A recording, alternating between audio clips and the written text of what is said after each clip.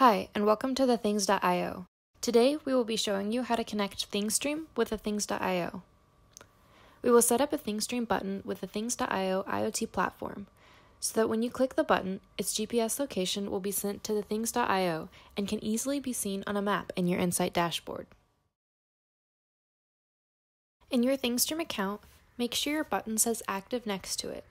If it doesn't say active, you can find a helpful link in the blog post about how to activate it. Now click the button and look at the IMSI number and the identity number. These are what we will use in the future to send the button's specific ID with it to the things.io.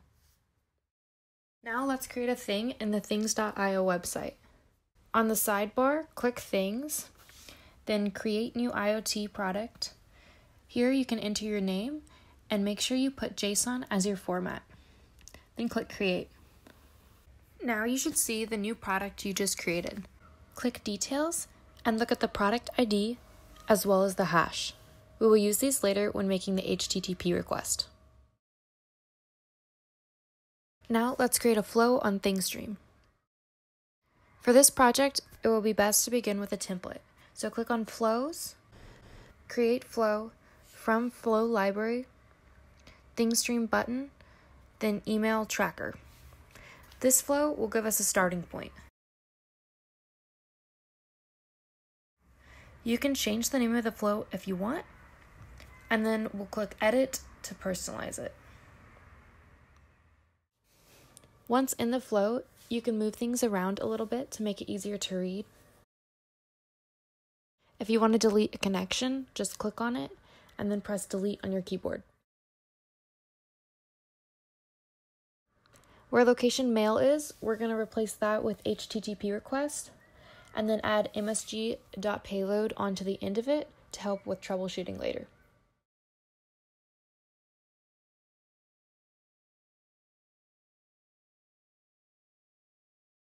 Now let's take a closer look at the flow. Whatever kind of data, either GPS or GSM cell data, will affect the path that the flow takes. In each path, we're going to organize our data using an msg.payload that we can send with our HTTP request to the things.io. Next, let's make some changes to the prepare GPS node. First, we will add an external ID and identity. These will identify what button was pushed, and they are the numbers that we saw under the button details on the first part of this video. Then we will add the time pushed value, which will tell when the button was pushed. You can also delete the addition of the URL if you choose.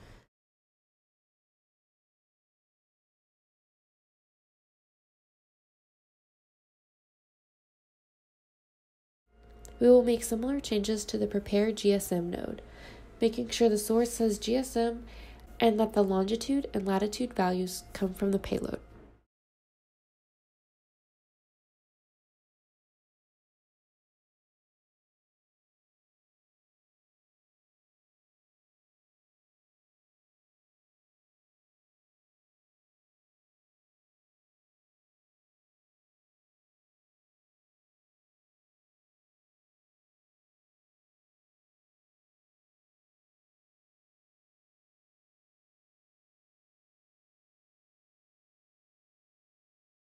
Finally, that leaves the HTTP request node.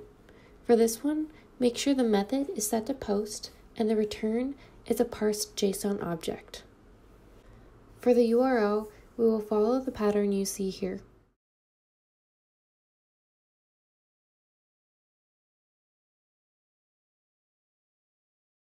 Remember, your product ID and hash will come from your thing on the things.io site.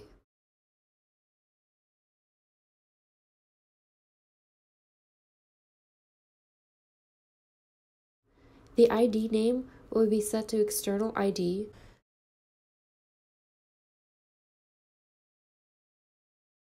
And the function will be the name of our function which we will write next. Let's call it thingstream-parser. Now we've finished with the flow. Don't forget to save.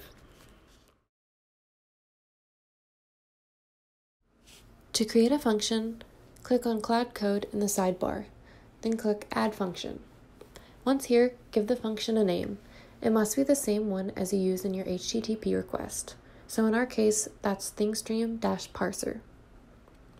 Then assign your function to a thing. This should be whatever thing you've been using to represent your button on the things.io site. Now change the code to look like this. For more information on $geo and GeoKeys, there's a link included in this blog post.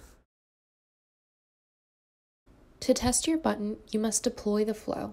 Click Deploy, Deploy Test, a thing, then your button, and deploy.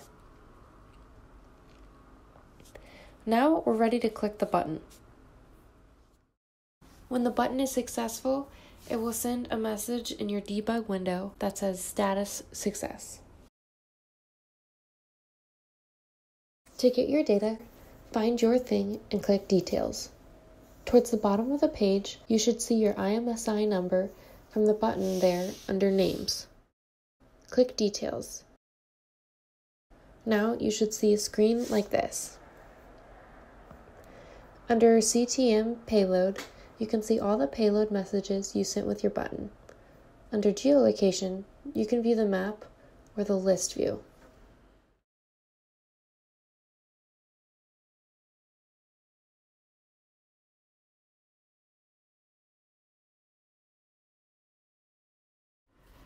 First, let's create a map of all of our buttons under our button thing. Click Product, then your button, then select Map as the widget type, and finally Real Time.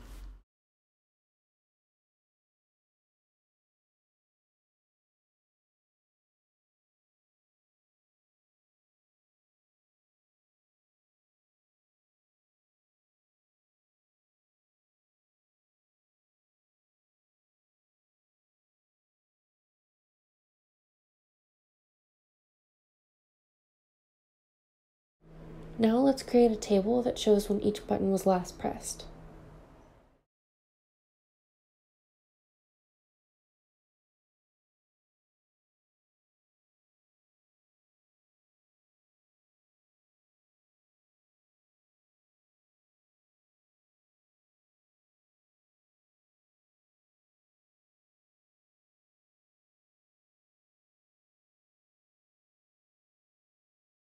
Finally, we can create a widget for a specific button that shows payloads.